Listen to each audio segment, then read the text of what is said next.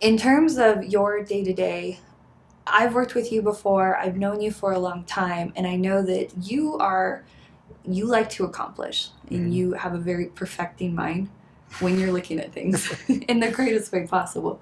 But then you also have this ease about you. Mhm. So tell me a little bit about leadership style and kind of how you encourage people to to also be as scrutinizing of, as their own stuff, but not in a way that micromanages them or throws off uh, a balance of like happiness in the work they're doing. Yeah, that's important. So I would say my leadership philosophy is is backbone and heart.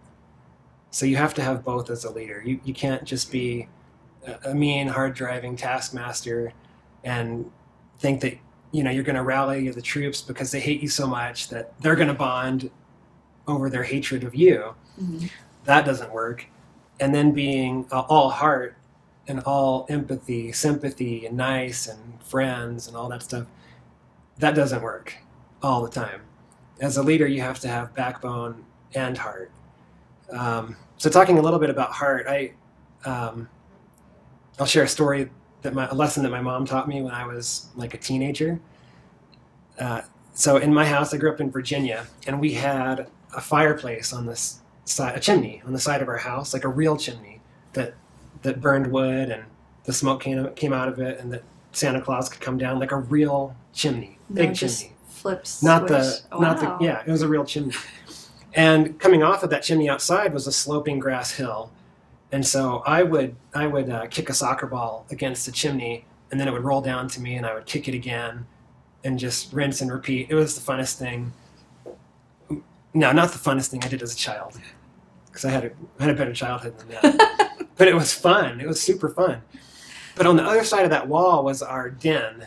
I don't know if we have dens out here in the West, but in Virginia we have dens. It sounds really like posh. We would call it a living room. Okay. So on that wall there's a shelf, and on that shelf there's a plate, a decorative plate on a little easel, and it was a collector's George Washington plate.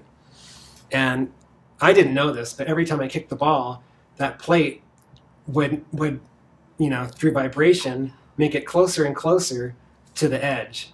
And one day it fell off and it broke. And this is my mom's George Washington collector's plate. So, you know, what do you think happened there? You know, ask the ask the audience. You know, what do you what do you think happened? What would a typical um, mother do? It's not what my mother did. Uh, I didn't even find out about it for a number of days or weeks, and so she didn't run out and scream at me and say, you know, how could you do this? Uh, it was days or weeks after that I even found out that it broke, and it just kind of came up, and I was like, Mom, why didn't you tell me about this? And she said, because people are more important than things. Isn't that good? yeah, that's really good. I mean, it, it stuck with me uh, all this time, forever, and it always will. Is that people are more important than things. So if you're at work and there's a project and there's a deadline or something doesn't get executed correctly or somebody makes a mistake, guess what?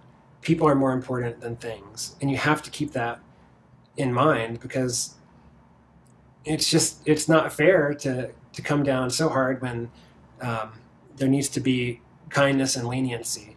Because i mean and if you do it, it burns bridges. And ideally you're working with these people for many many years. And you just can't afford to have that loss of trust. Mhm. so that's hard. But backbone is equally as, as essential as a leader. You just can't be the hard way all the time. There has to be accountability and you have to make tough decisions and stick with them um, they're not always popular, but you do your best, making the best decisions that you can for the company, and you you stick with it.